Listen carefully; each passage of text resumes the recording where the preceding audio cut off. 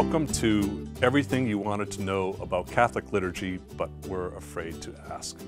My name is Bishop Christopher Coyne, and many of these questions come out of my meeting people, my receiving emails, my receiving texts, and the answers, I hope, come out of not only being a bishop but also my background in the teaching of liturgy and in the study of liturgy. So, what's today's question?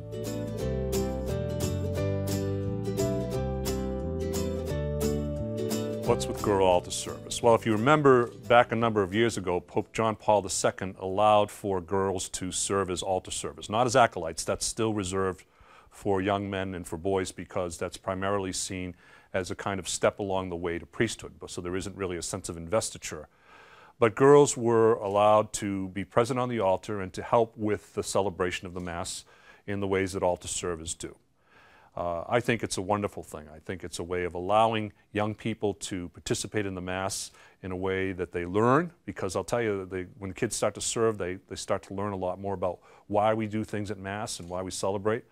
I'll also say that girls, just by their very nature, seem to be more attentive to what you're doing. They seem to pay attention. The boys can be a little bit scattered at times, but that's just uh, the two of the, the, the, two different natures, I think, of, uh, of girls and boys. And I, I, think it's been a wonderful thing for our church to see the young ladies uh, up there uh, with their brothers and uh, all their friends celebrating the Mass. Now, there are some who are concerned about it. They say that uh, boys are discouraged from serving because they don't want to serve with girls. Well, I think uh, there are ways of handling that. For example, I know in a number of places that uh, they make sure that the boys have as much of a role, or they make sure that always there's always two or three boys as well as two or three girls, so it's never one boy with like three girls or something like that.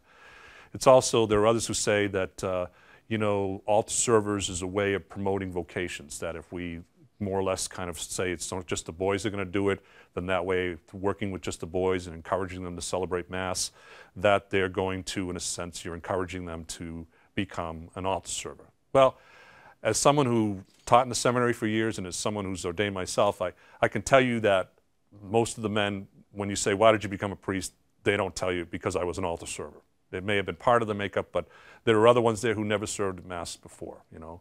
And uh, in the way it moves forward, I still haven't seen the results. Do, does this, can someone prove or show that in fact boys being servers can, is going to lead to greater vocations? To, uh, does it mean that, if that may be the case, then why do you still have to not have girl altar servers?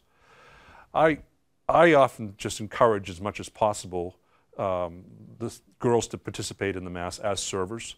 I think um, it's a way of welcoming them to the table, a way of saying that they have an important role in the liturgy, that they're not second class citizens because they're girls. I also think that um, in many instances, most of the men who become priests will tell you that they were encouraged by their mothers and by their grandmothers, more so oftentimes than by their fathers. And I look to the future and I say, I want to encourage these girls to, to see the church as inviting, to see the church as something that they can be a part of, and I don't want to encourage them to see it as something that from which they're separate or something from which they're not invited, because down the road, these are the mothers and the grandmothers and the aunts who hopefully are going to encourage their vocations of their sons and their nephews and their grandsons. And one way I think that could hurt that is by closing the door in a ministry which is already open for them by saying, you can't because you're just a girl. I think that the best thing for us to say is, you can because you are a girl. My name is Bishop Christopher Coyne. Thank you for joining me.